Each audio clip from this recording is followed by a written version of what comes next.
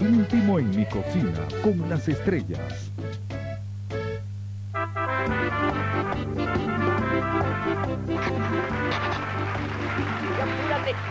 Mm. Qué bueno que estén de regreso con nosotros. Esto es íntimo en mi cocina con las estrellas. Eso está muy rico. Por fin el set es todo mío. Omar fue a buscar a la invitada VIP especial de hoy. Mm. Liliana, pero falta una copa. ¿Cómo que falta una copa? No. Hay dos copas nada más aquí, falta una copa. Mira, no tengo... Arregla el set, limpia ahí. un momento, un momento, un momento, un momento, un momento. Falta una copa. Yo tenía tres copas aquí. puse la piña con el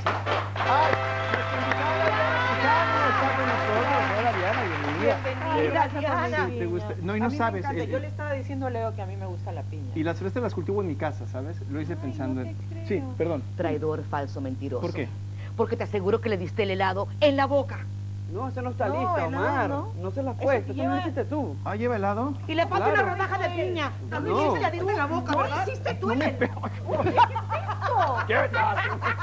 ¡Qué. Bienvenida, mi amor, Diana Quijano. Una broma, una broma. Pero me golpearon en serio. Yo, yo, yo siempre te voy a golpear, en ¿Todo serio. es en serio? Mientras no me golpees con tu desprecio, todo está bien. Ven, Diana, pásate para acá, por Sí, favor, en lo, amor. que, en lo que Leo cumple su promesa, porque la verdad es que él lo hizo. Él preparó, fue a ordeñar la vaca, hizo el helado con esa Sí, leche. mi vida, favor. ese, ese, Madrugó, madrugó para hacer todo esto. Sí, ya. Ay, qué rico. Qué bella estás, Diana. Gracias, gracias, Qué gracias linda. a mi stylist. Aquí están las tres copas. Ahora sí me retiro yo. ¿Por qué? Dame Disfruten. un beso, No, mi me tengo que ir. ¡Mua! Chao, Omar. Chao, sí Rico, me pusiste rico la mía, como ¿verdad? Sí, ahí está, Gracias, tu- Leo. ahí está la tuya. Perfecto. Chao, Diana. Disfruten. Gracias. Siempre trae prisa. Es que la vaca que ordeñó para hacer el helado se le escapó. Entonces hablaron ahora. La tiene que ir Tiene a que ir a- Puedes comer con toda confianza. De verdad se hizo pensando en ti mientras nos cuentas eh, lo que nos quieras contar. Eh, ya, ya te hemos visto en novelas, te hemos visto en teatro y ahora tienes una En faceta nueva, micros. el microteatro. Pero mira, mira la microjoya que tiene colgadita en su pecho. Eso no es micro y me encanta. A ver. Gracias. Es en ¿De plata dónde salió eso? 950, em, basado en petroglifos de Sudamérica, que buscando petroglifos me encontré que en Alemania, en Europa, los petroglifos se repiten. Tú los haces. Wow. Yo los hago, sí. Pero, Primero los tallo en, en cera, ajá. después los vaceo y después limpio la, la- la pieza original y le saco molde. Oye, pero eso es un talento excepcional, además el que tienes como, como intérprete, porque mucha gente diseña su joyería, porque es un talento también diseñar, y me imagino que como funciona es que dibujan los diseños y los manufacturan. Tú los haces literalmente Sí, con tus es manos. que eh, para mí es una terapia. Yo soy bastante histérica. Ajá. Tenemos algo en común. Hicimos una obra de teatro juntos y yo nunca la vi en esa faceta, ¿eh? ¿No? Por eso, porque hago mi joyería y me Ah, calmo. no. Generalmente eh, las personas que trabajan con los sentimientos, en la actuación, interpretación, los cantantes, somos un poco intensos y te entiendo perfectamente. Sí, sí. Yo también soy histérica, se nota. ¿Y de dónde nació esa... en, en qué momento de tu carrera nació esa terapia? Porque eso es una profesión también. Eso es- Eh, desde que exclusivo. comencé, bueno, me botaron de mi casa por histérica. Y A mí también, yo sé lo que se siente, no te preocupes. A los veintitantos años. No, a mí a los 16. Ah, bueno. Pero bueno, perdón. Bueno, en A mí no me votan porque si me, si me votan me meto por la Mm. ventana. Tienen que irse ellos. Tuve que encontrarme un- una actividad para hacer y me metí a la joyería. Antes de dedicarte a la actuación. Antes, entonces. no, mm, eh, paralelo, ¿no? Lo que pasa es que ya no vivía en la casa de mi mami, entonces no tenía con qué pagar mis clases de danza ni de teatro. Wow. Y así hacía intercambios y me salían novelas, supongamos, entonces yo lo dejaba descansar. Ujú. Y cuando estaba en, en- en el descanso creativo de telenovela y novela o de proyecto en proyecto, me metía de nuevo a mi joyería. Pero eso también cansa físicamente, ¿no? Concentrarse. El- el- lo que pasa es que tiene un trabajo de filigrana, si se le llama así, muy, muy delicado. Muy Eso no te daña detallado. los dedos, no Muy te daña detallado. los ojos, no te cansa. Sí, bueno, eh, eh, no está muy complicado el, el diseño, son solamente eh, eh, imágenes eh, redondas, porque recién estoy aprendiendo. En cambio, lo otro es este mi fuerte, ¿no? El trabajar con la cera, tallar la cera. Wow. El- la, la, mm, la filigrana requiere polvo de soldadura que uno tiene que hacer, pero es bien minucioso, como El para polvo- calmar el la polvo- histeria. El polvo, el polvo hay que moldarlo. Eh, sí.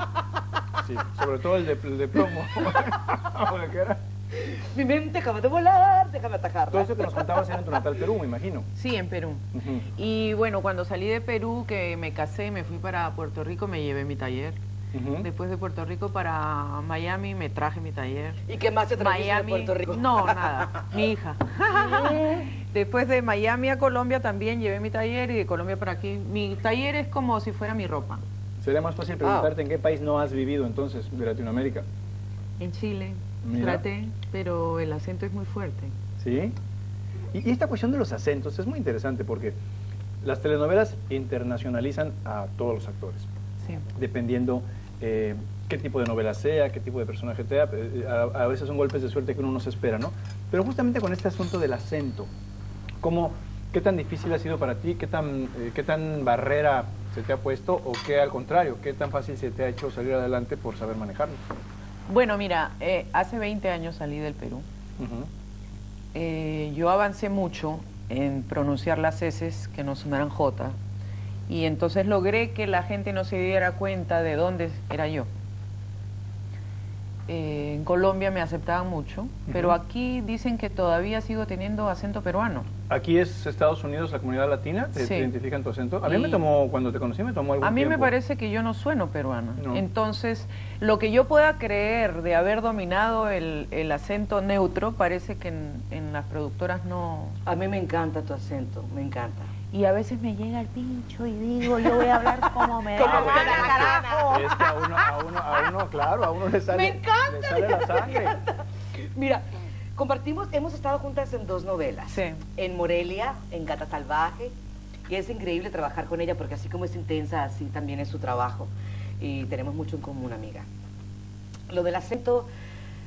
ay, ¿Por qué complacer a todo el mundo? No, sobre todo que en el mundo somos de diferentes países, no todo. Si bien la mayoría es este mexicana, como acá Omar, hay a- dentro de México también hay diferentes acentos Por y supuesto. también se Como en todos los respetan. países. Por supuesto. ¿No?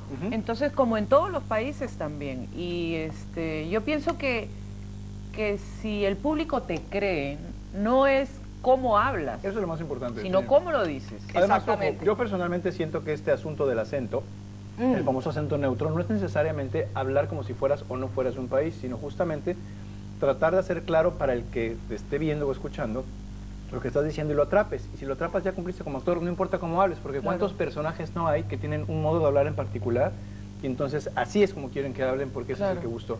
Entonces, Supongamos, una mira, actitud, en mi Más familia, de- en mi familia somos varios, ¿no? Eh. Bueno, el núcleo de mi familia con mis hermanos hablamos de una cierta forma, pero tenemos unos primos hermanos con los que crecimos juntos y siempre nos reíamos de la forma de hablar de ellos. Entonces, eso también es otro acento de adentro de la familia, ¿no? Entonces, generalizar eso de acento neutro, yo creo que Que es un error.